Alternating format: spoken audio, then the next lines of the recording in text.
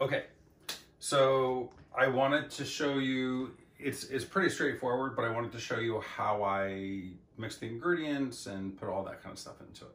Okay, so, um, so today I'm using, um, this is my, my baking flour. I'm using the King Arthur um, um, high structure bread gluten um, flour. And so what I do is instead of using measuring cups and whatnot, I, I weigh all my ingredients. So, you know, I put, I put the ball on the scale and I press the button again and it zeroes it out. So it subtracts the weight of the, the actual bowl. Okay, then I take my flour. Now, I think this is kind of an important thing. And then I sift the, the flour through. Um, and that way then when I'm baking, I don't get big chunks. And I'm gonna put in 500 grams of, of flour. Now what some, sometimes people, they mix the, the flour. They like, they use different types of flour. Um, and I do that too sometimes, but for this, we're just gonna use um, this one the, you know, the same kind of flour. So I'm at four something, I'm trying to get to 500.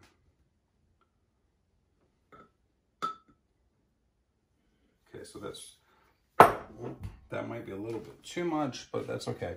Because I get this far and I can see that I'm already over 500, which is fine. So I'm just gonna finish sifting it because it makes a bigger mess if I try to go from the sifter back into the canister. And then, so I'm at 618 actually, so that's way, way over. And then what I do, then I just start scooping, you know, start subtracting because it's just the flour.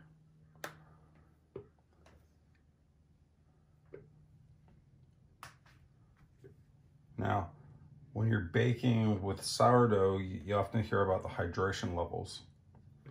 And so then what, and there's all sorts of calculators online, but basically the, the flour, um, however much flour you use is, a, is your 100%. And then when you add the other ingredients, especially the water, then depending how much water you add, that's your percentage of, you know, that's your hydration level. So we'll get to that in just a second. So the next thing is the salt. So I've already measured this out, but I would do it the same way. I would put it in, I would measure on here. I put, so I do 500 grams of flour. I do nine grams of salt. And I put it over on the side. So then when I put my yeast in, then it doesn't, um, um, the salt will kill the yeast on contact, or I'm told like pretty close to being on contact. So until I go to mix everything together, um, I don't want to you know, I want to keep them separate. I guess that's basically what I'm saying. So again, I'm going to zero out the scale. And I'm going to hit it again to zero it out. Okay, great. Because um, I'm going to pause for a second because I need to get my spatula. Um, and then I'm going to put my, my, um, my starter in. Okay, so we're back. I just made sure that this was zeroed in because I bonked it. Sometimes that seems to throw off the, the scale. This is my starter. This is um, something I've been, it's a long story, but you can see the bubbles inside of it. And when you look at the very, very top of it, you can see the, um, and you can get close. It looks like there's little black dots on the top. They're not, they're actually not black dots. It's the bubbles that are forming. Um, it kind of looks like they sort of look like seeds or, or like that. There's something in there. It's really just the, the air coming up, um, against it. So long story short, um, I have this rubber spatula I've, I've kind of wet it down. You can, if I don't know if the camera can pick it up, there's a couple beads of water it just makes the, the starter a little less sticky on here. And so I need to add 50 grams of the starter. Now, this is the part where it gets a little bit imprecise. Um, I like to put it right into the bowl with the flour because it's so sticky that if I pre-weigh it, it gets stuck in the uh, onto the, you know, like in the bowl, like when I'm pre-weighing it. So that's 34 grams, so I need a little bit more. Now this is gonna be too much if I put the whole thing in. So I just kind of, and my hands are clean, I wash my hands. So I'm just gonna kind of tease some of it down.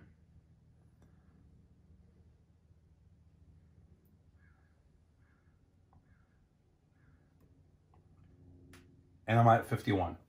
So it doesn't have to be exactly 50. You know, it's like 51 is is more than close enough.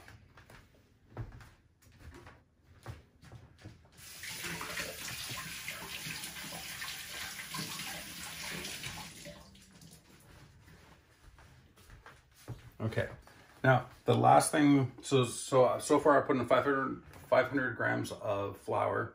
I put in nine grams of salt. I put in 50 grams of my, my leaven, or levain, probably, on my starter. Um, so the last thing is the water. So, um,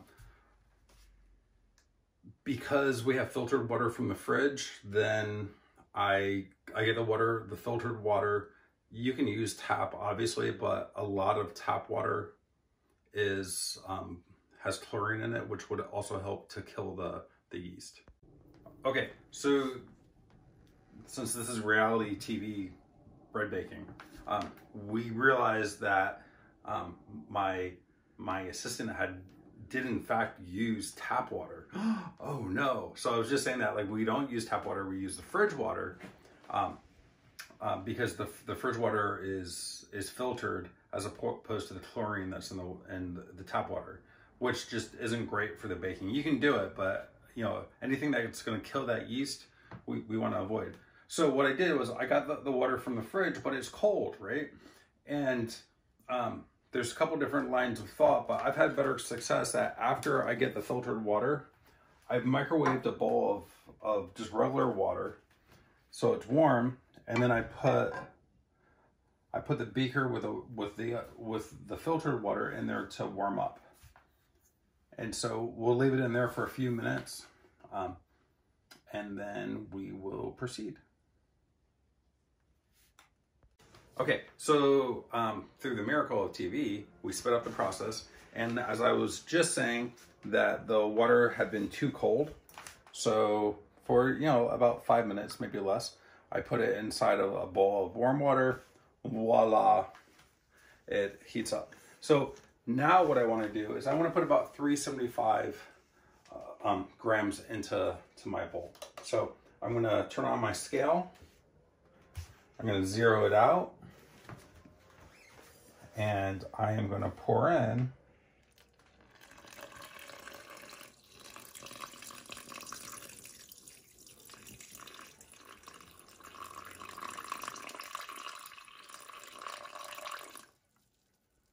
So you want to keep in mind that as you're pouring, the scale has to catch up. 375. Fantastic. Now, what's great about how I do my bread, at least I think, is that I don't need the bread. My awesome wife found at a thrift store for me many years ago this, they call it a Swedish spatula bread mixer. So now I just take it and I'm just gonna start mixing in. And you, you can actually hear kind of the, the leaven. It starts to bubble up. It's got the, the water. The water isn't warm, but it's room temperature. And because it's, it's I'm gonna say warmer than it being cold, then it starts to interact with the, the yeast and the dough um, even faster. Some people and I don't think that they're wrong, um, think that you should use cold water because the yeast will still interact, um, but it slows it slows it down, which adds more flavor. Um, I just seem to have better success with room temperature water with with the bread rising. And so I'm a big believer in you go with what works. And so you can see that just by a little bit of stirring with this, you know, and I scrape the sides, so I make sure there's not really any like There's no, no, none of the starters stuck to the sides, none of the flour. I'm really getting just about everything. And because I sifted the flour, then I don't have any big clumps of, of flour that then, then when it bakes, I would still get those. And I'm pretty much done. So at this point now, what I do is I just, I put it down and I take a, I take a, a tea towel. Um, I'm gonna wet it down and I'm gonna put it over the, the, the bowl. I'm gonna let it sit for an hour and then I'm gonna take my scraper again. I'm gonna shape it into a bowl one more time. And then I let it sit for 10, 12 hours easily, maybe, maybe more. Okay, so um, I just, it's just silly, but I decided to just show you like this is the same towel I had before. I've wet it down. You can see like, even though I'm squeezing it, really no moisture is coming out. It's just of damp. And from what I understand, the reason for doing that is that allows some, some moisture to wick in to the dough. Um, this is a really big, um, um, what do they call it, potato sack, um, tea towel kind of thing. So, you know, I'm just gonna cover it. I'm gonna put it in a non-drafty place. I like to put it here under the under the counter on the stool. And in one hour, I'll reshape it into a ball just using the scraper. It takes about 10 seconds. And then I'm gonna let it sit. And the longer you let it sit, the better your bread's gonna be. And so by longer, I mean 10 hours, 12 hours, 16 hours. You go for a long time. Okay, so there we have it. Okay, so the bread's been sitting for um, for about two hours. Um, it really just needs a, an hour. I like an hour to two hours, and it kind of just flattens out. What we're gonna do is we're gonna take the scraper. We're just gonna go around the bread, give it a little bit of structure by kind of trying to put it into a rough ball. I never touch it with my hands. I just use this. This is not kneading or anything like that. This is just giving a little bit of structure. So I, I take off my, I called it a potato sack. I forget what it, a flour sack, dish towel, but here we go. We see the, okay. Um, you see it's kind of all like, I'm spread out. And so what I'm gonna do is I'm just gonna grab it and I'm gonna like fold it in on itself. And I'm gonna do that just all the way around it. So then it has a little bit more structure to it. And I think that's supposed to help it as it bulk ferments, as it just sits and, and the yeast goes yum, yum, yum, yum, yum, yum, yum. So it's nothing special, it's nothing magical, but you see how it's sort of a, a ball shape. It's all that it does. Okay. Nothing too special. I'm probably even doing it a little bit too much right now, but just want to demonstrate. I just kind of scoop it from underneath and pull it up and then do it from another angle. But that's about all. And now I'm gonna put the cover on. I'm gonna put my my moist um, dish towel and I don't use the ones that are that are furry and fuzzy, um, you know, that are like terry. This is more just a straight kind of cotton cloth. Um, it's moist. I put it on top. I'm just gonna let it sit for the next probably 16 hours or so. And then we'll go to the next step. Okay, so I wanted to show you, here's the dough. Here's the dough after it's been bulk fermenting for, for um, at least 12 hours, 14 hours. And you can see that has all these bubbles in it. And that's a really good thing. That's that's the gas um, building up as the yeast has been eating away at the flour and, and the water and everything. Um, so now it's ready and I'm gonna dump it out. And you can see, you see how it jiggles? And so I have my scraper and I wetted it down. And then with the scraper, I start to I start to work it out. And you can see almost like cobwebs or something. And that's the structure from the dough. The, the, the gluten builds up from what I understand, right? And so stretching is a good thing, but only to a point. Let's see, try to get some light on there. But we're gonna help it come down. And I put it on, I put some flour down. And it's one of those things where it's not too much flour, but not, not too little.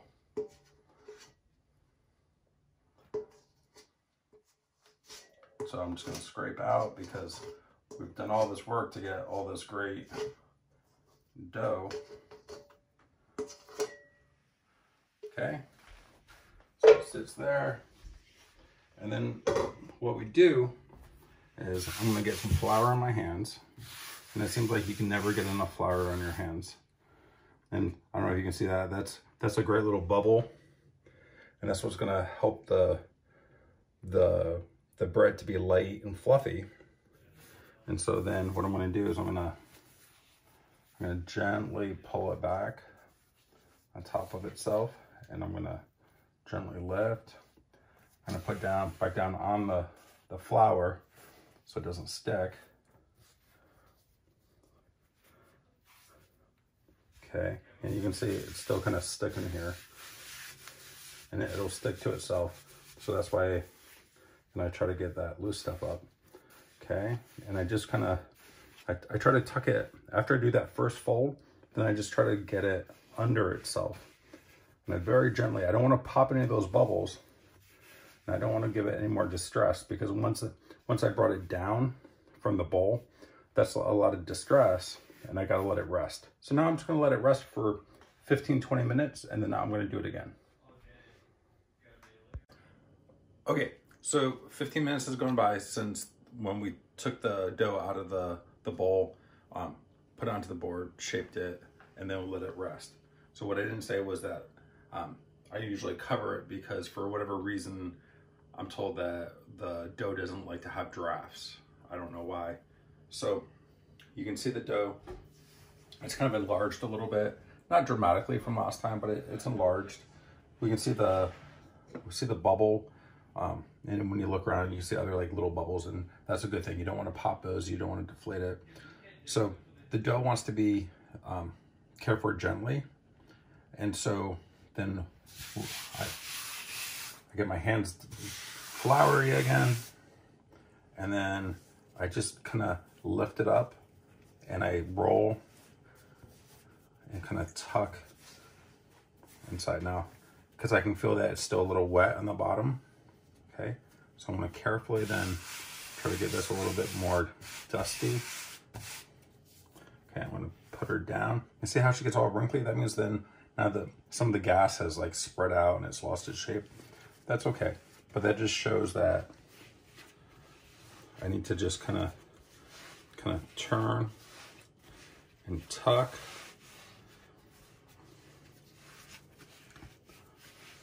And the the technique that I've seen is like let it like just kind of spin it working down toward you and when it gets there then push it up so then when it rests now we're going to let it rest. You can see the bubble has returned. It's gotten more gassy. We've, we have a few other kind of bumps where they're coming back up and we're just going to let it rest. And we're going to do this for a total of three times. So that was the second time and we're going to do it one more time. We'll let it rest for 15 minutes and then then it'll be time to put it in the oven. Okay? Okay, so I'm back. This is, um, we've, we've, um, we've dumped, dumped it out once, we've folded it once. Now this is gonna be the third, the third time that we've shaped and stretched it. So again, I always like to cover it. You can see uh, the whole thing has kind of inflated. The, the bubble's still there, but the other bubbles, they've kind of um, they've gone away because the, the whole thing is expanded. So the one last time, what we're gonna do is I'm gonna take the dough and I'm gonna try tucking under as I bring it back. And as I bring it back, I'm gonna turn it and, and tuck underneath it. So, see, I tuck underneath, I tuck underneath. I'm just kind of rolling it and tucking it, but it's still kind of sticky. Here, I don't know if you can see down here still kind of sticky. So I'm just gonna try to gently dislodge it and then bring it up here because I have flour up there. And I'm, I'm always either with like too much flour or not enough. So sorry about the arm. I'm gonna take a little bit of flour out. Okay, and so now one last time. Yeah, see that's better now. So I'm just gonna fold it and tuck it as I bring it closer to me. It's kind of like like pie dough from what I'm told that like you don't want to handle it too much. And as you let it, as you work it, right, then you need to let it rest. So this is the this is the third time that we've shaped it and folded it. There's no like set number, but I've learned you do it a few times. See, I'm starting to get like the bubbles here. And I still have this big guy here, right? So it's not rocket science. And then I'm just gonna cover it up and let it, let it, let it sit. Now, what I wanna show you is, then I have this basket. There's some kind of fancy French name for it, but it's very lightweight. It's wooden, um, it's ringed. You don't have to do it in here. You can put it in a normal bowl. But I'm gonna get it ready now for for this last this last job. And what I do is I just kind of sprinkle some some rice flour inside of it. And because as just like how we had to add flour to the other um, to the board, we put a little bit of flour in here. We spread it around and for some reason we do rice flour. I guess it's lighter and it sticks less. And then that will help it to um, not stick. So the this last time, I'm just gonna let it sit in here and um, I'm gonna let it rest for 15 minutes again. I'm gonna cover it up and then the next time we'll put it into the bowl. Okay, see you in 15 minutes. Okay, so it's been two hours. It's actually been like two hours and a little bit, but that's fine. So I just took this out of the fridge. As I had said, I I I wetted this down the the top. Um, but look, you can see when I squeeze it, there's no there's no water dripping out of it. It's moist. It's wet. Now it's cold because it's been in the fridge, but um, there's no drippage. Okay. So then when you look at my dough, you can see that it's risen and you know roughly a third to a half larger than it was okay so i'm to take that out in just a second so what i wanted to show you is then you're gonna, you're going to need two things this is parchment paper okay and so you're to put the parchment paper to make sure that that the dough doesn't stick inside your your cast iron enamel people like to call it Dutch pot, but since I'm anti-Dutch, then we're not gonna call it that. Okay. So what I do is I take the, the paper, and I, and I like these because they're they're kind of they come pre-cut, pre-sided, and I just I just stick it inside the the pot, and I and so you can see like the ring around it. Okay, so just to do that, now what I'm gonna do is I'm gonna take the, I've got the round from smushing inside. I turn this upside down and voila, right? So there's my dough. It's got the rings from this beautiful basket, but the rings don't really affect anything other than it kind of helps to make it look cool. I drop it inside of my, my pot. Now, here's here's the thing. Where's my, okay. So I've got this fancy lame, right? It's kind of cool. What it really is, is just a razor blade on a stick. And we use it to, we use it to score the bread. Um, um, I use this, this is, this is pretty cool. Um, does a nice job. And then when you see that, like the fancy designs that people have on their bread, when it comes out, they, they use a lame. Um, uh, it's not necessary, but what is necessary is that you do need to score the bread. And the reason you score the bread is that as the bread bakes, it's gonna expand. But if you don't score it, if you don't cut into it, then the bread can expand and um, you're not going to get that fluffiness that, that you kind of want. It's going to be a little bit more dense. So if you don't have a lame, then what you can use, what I often, what I use in the past is a serrated knife. And so you can do fancy designs. Um, there's one other thing that you can do. And so just to show that my scissors are missing, um, we'll save that for another time. Um, so we'll save that for another time. But what? Okay, we'll just edit this out. Um, no, it's okay. Oh yeah, yeah. Let me have. It. Okay, so then you can just use like regular scissors. It doesn't have to be anything fancy. And what you can do is you can just kind of cut into the middle there. And then that's gonna provide enough for for the dough to to build up, uh, to expand and to grow out, and you'll have a nice start. The other thing you, you can do, and I'll just show just a little bit here, is you can you can kind of cut and people do all sorts of designs and stuff but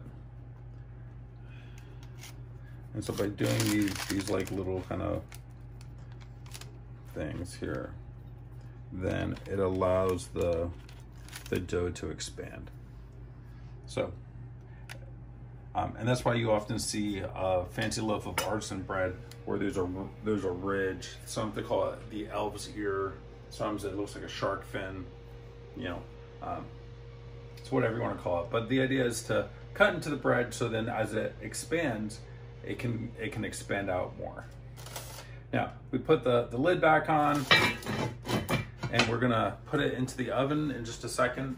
Because of our oven, what I've learned is that um, the the heat is so strong from the bottom that I um, I need to put in an air pan and a cookie sheet underneath it. So I already have those in the oven that are getting hot. And I take them out. The oven's at 450. I'm gonna put this in. I'm gonna put it in, I want you to know that. I'm putting it in with the, the lid on.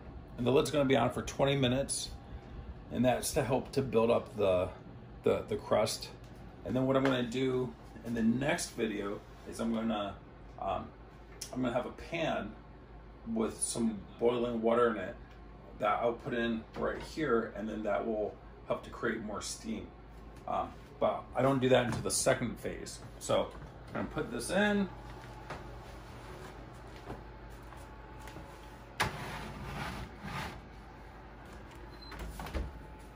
and we'll let it bake for 20 minutes. And then we'll be back. Hey everybody, so here I am back. As I was telling you, I have, um, um, I've prepared a pot of boiling water. And I pour it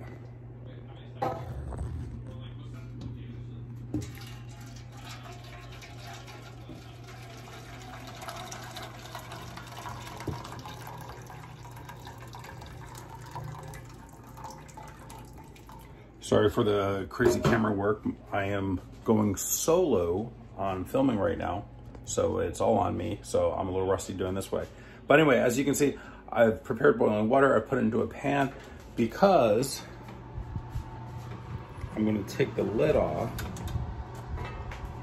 and you can see, you can see as it slides back how much more um, it's risen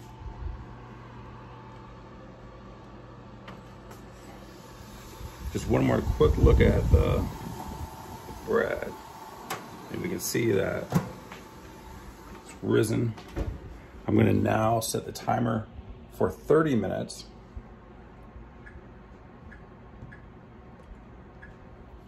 And then in 30 minutes, what we're gonna do is we're gonna take the bread out of the pan, out of the uh, out of the oven. We're gonna and then put it back into the oven for a few more minutes. So that's the next segment, and we'll be back in a few. Okay, so it's been 30 minutes, and my timer's going off, so I gotta turn off turn off my timer, of course. Uh, last thing we did was we put the we, we took the lid off here, and we put the um, the pan with the boiling water to create more steam. You don't have to do that. I like to do it just because I like the crust to be a little bit more crunchy. I think there's a lot of flavor there. That's what I like, um, especially the heel. So now what we're gonna do is I'm gonna I'm gonna open up the oven. I'm gonna take the the pot out that has the, the bread in it. I'm gonna remove the, the bread and put the pot down, but I'm gonna put the bread back into the oven and just to cook it right on the cookie sheet for the last like 10, 11 minutes. Okay, so here we go. And of course, there's so much steam that my glasses get steamed up. Looking really good. And it just pops right out, partially thankfully, thankfulness, thankfully, thank to the um, to the parchment paper. And now I'm just gonna put it back in. I'm gonna put it next to the, I'm gonna leave the, the water in there and we close her up. Um, I know my oven, so I usually like it um, for about 11 minutes, but for everybody else, I would suggest that you put it in for 10 minutes and just see how it looks. Sometimes I, I even leave it in longer, but 10 minutes is sort of my baseline. So we'll come back in 11 minutes and we'll see how it looks. Hey everybody, so here I am, I'm back. My oven's beeping. This could be the last stage. We're gonna take a look and see how the bread is doing. Or I should say the second to last stage. Turn off the timer.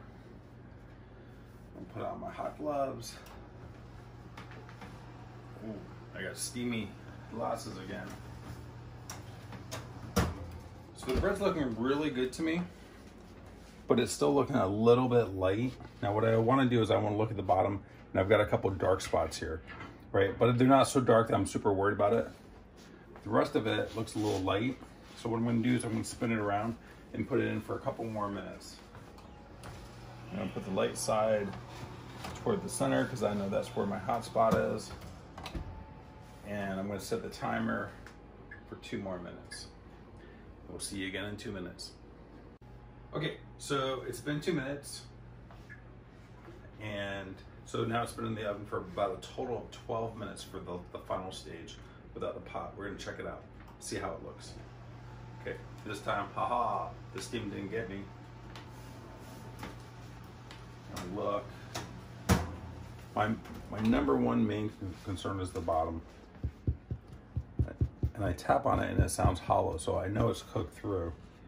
It's starting to get a little dark, but I feel like this is still kind of light. The tips are getting dark. I'm gonna put it in for another two minutes and then I think it'll be perfect.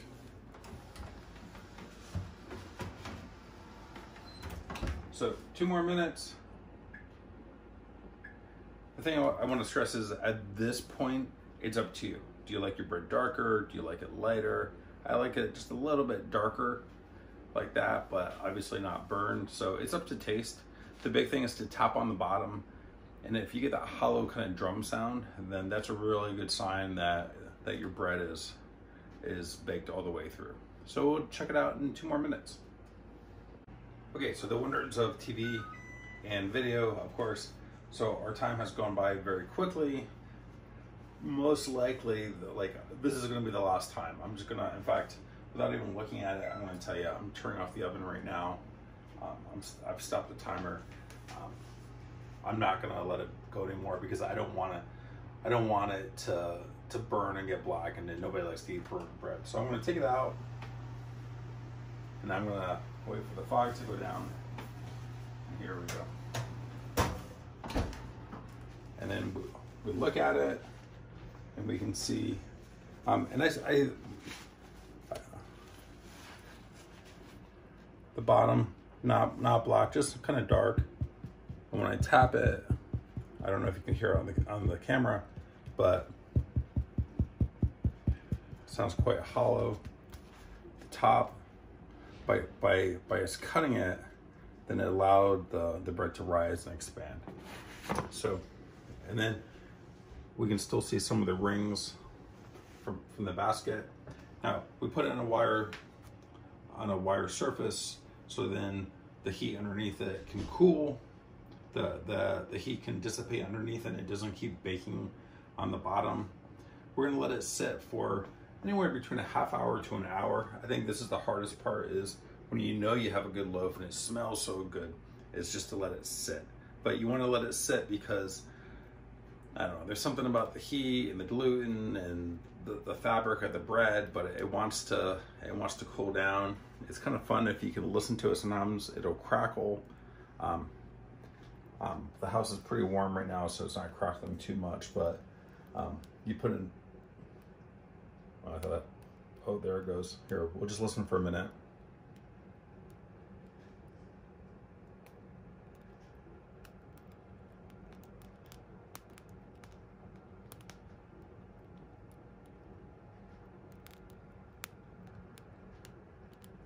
Okay, and so to me that's a good sign. So we'll, just let it sit for a half hour to an hour, and then we'll cut into it and see how it looks. Okay? Hey, okay. So the bread's cooled. It's out. We've we've actually sliced into it. Looks really good. Like I said, it gets a little bit darker before it finishes. You know, like by the time it dries, it cools off. And so we sliced into it, and look at that nice, fluffy, almost like a French loaf. Look at the holes in that. And then let's look on the inside. And look at look at these big holes here. And then we've got lots of little holes. And that's all from remember when we had the the dough before like when we were shaping it? that's all the gas bubbles that that are building up and building up. And so that gas just gets trapped inside it makes the bread fluffy, and so then it's not dense and um, light and airy. And then let's look one more time here at like the, the crust line, how like it, it almost goes immediately to the crust. And that there's not like a thick dough kind of buildup of, of the bread. And so that's how I like it. You make it however you want. This is considered to be a high hydration, so there's lots of water. It has about 73% um, water compared to the amount of flour that's in it. Um, you can do it a little bit less and it will have less, um, it'll be a little bit more dense. So it just depends on how you like it. Thanks for watching.